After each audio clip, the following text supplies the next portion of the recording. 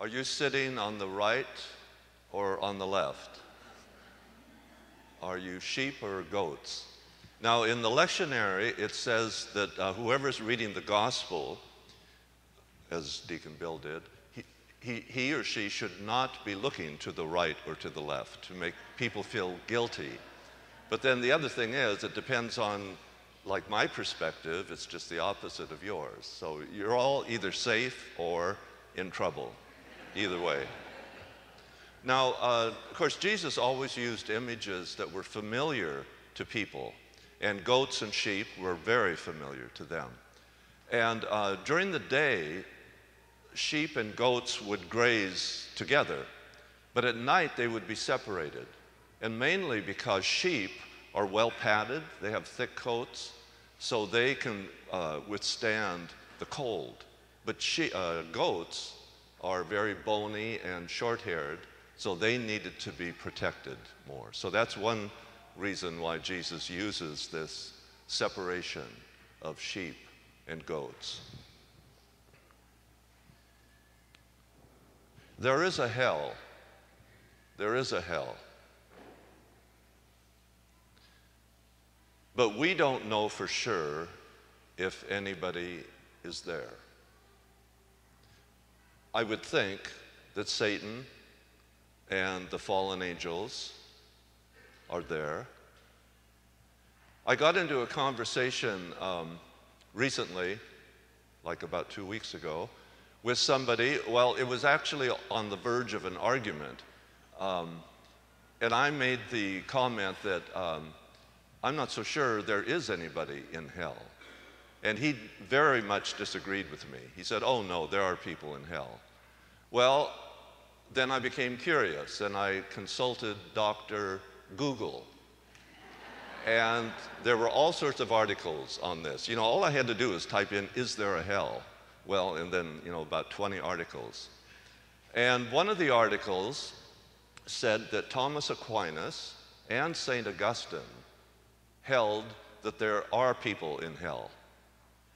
But the church has never officially taught that certainly not infallibly.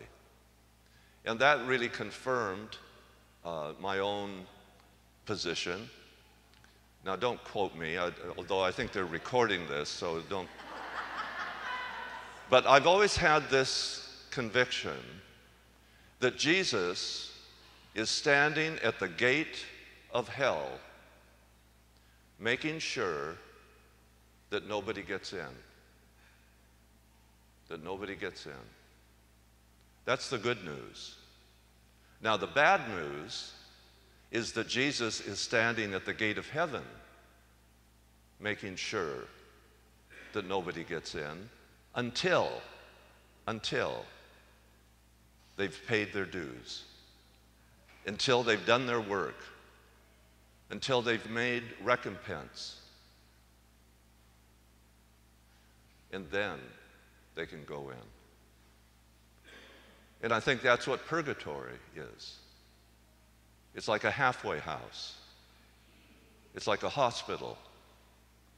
It's a place of healing, a place of hope for all of us. God is very compassionate. God doesn't send anybody to hell. If anything, we send ourselves there. And we need to shepherd each other the way Jesus shepherds us. Anybody who's in a position of leadership, whether it be political or religious leadership, has been delegated for that and has the responsibility not only of being the leader but being a healer, being a shepherd. Whether you're a parent or a teacher or a pastor or a president, being a shepherd is an essential part of that delegation. And that's what we're being called to this morning to be a shepherd and to imitate Jesus in his love. And that's why we come here to be fed by the Good Shepherd, by the Word of God, and also by the body and the blood of Jesus, who loved us so much that he died for us, the King of the universe, crucified out of love for you and for me.